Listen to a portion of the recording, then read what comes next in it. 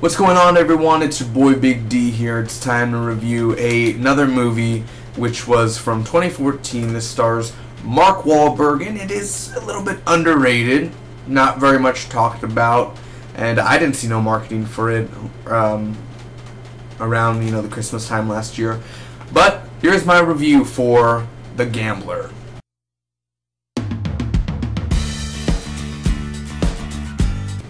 Guys, so let's get right into this. I'm not going to spoil nothing. This is a non-spoiler review. I'm just going to tell you real, real quick the synopsis of it, just like taking less than just 30 seconds to do uh, what the plot is about, and then my pros and cons and my final score.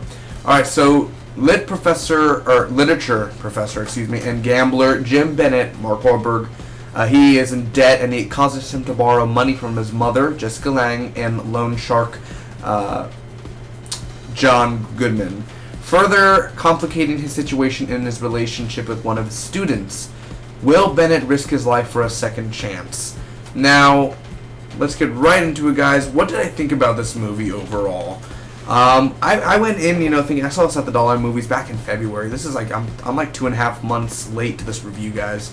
So it's been a while since I've seen the movie, two and a half months. So, but I tried to refresh my memory as much as I can, try to think back if it's memorable or not and some parts are, and I'll get with my cons first. First off, oh, before I went into this movie thinking, you know, I heard some negative stuff about the movie and how it's a, like a, a remake or an tribute to the original Gambling movie, like in the 70s or 80s.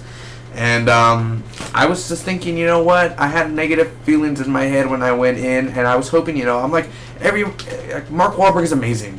He is. Every movie he's in, he brings something to the table that no one else can bring. He brings some charisma into it, charm, and that's what he's good for, man. He brings the good vibrations, and I love it. So, Mark Wahlberg in this movie, he is interesting at a point. He is a douche. Uh, he, he's not really that likable. He's really suicidal in a way. One of those characters where he's just kind of not afraid of death type. So he is kind of like really, uh, you, you're not, not really where you'll care for his character, but still, I would have picked someone else to be in this movie as the lead, but still Mark Wahlberg, having him in here, he's not bad in it. I mean, he's not the worst thing ever in cinema history. Mark Wahlberg is amazing, and I don't think it's his fault. I think it's more of the writing's fault, which I'll get to that in a little bit. Uh, secondly, John Goodman, dude. He comes out maybe three, four scenes at most, but he is amazing, dude.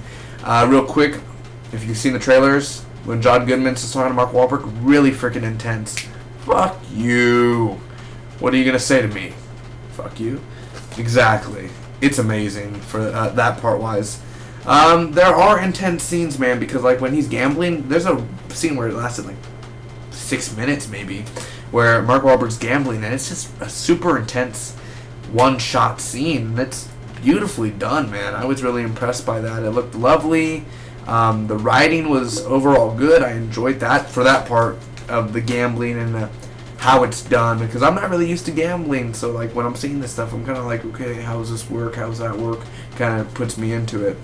Um, and again, he's a literature teacher, so some of his teaching scenes, I wouldn't say he's the greatest liter literature uh, teacher, but then again, some professors are just dicks to their students at times, and I mean, you, they could be because America, and they're not working for um, you know high school or middle school. They're professors, so they can be a dick if they want. And for how he does it, kind of interesting in a way, but one of those where like I hope he's not my teacher, but still, the teaching scenes that he does, they're all right. They, they, they're where a pro is. They're not a con for that. Now the cons I have.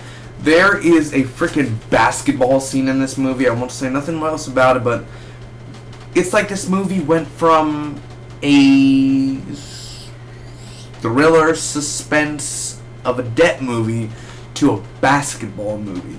Like it went full on freaking uh, Kevin Costner on us, man. Freaking like people were bouncing balls, and then it looked like it was filmed like the way they filmed the basketball scene, which that's a A plus, man, for that basketball scene. If this was a basketball movie, if it was a sport movie, it's not a sport movie unless you count gambling as a sport. Then it is, but not for basketball.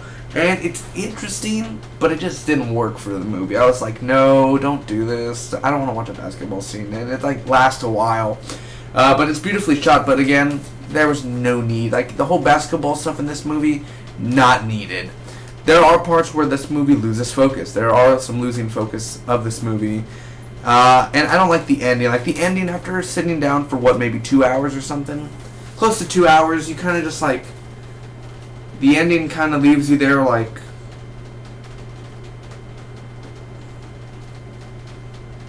Really? Why wasn't this just like a 30 minute short film? This could have easily been, this could have been, this is a movie that could be made for like an A&E or a TV movie. A TV movie, not a on cinema movie. It's, it's not really that good for that. Uh, there is a lack of action in here because if you think Mark Wahlberg, he's in debt, loan sharks, John Goodman.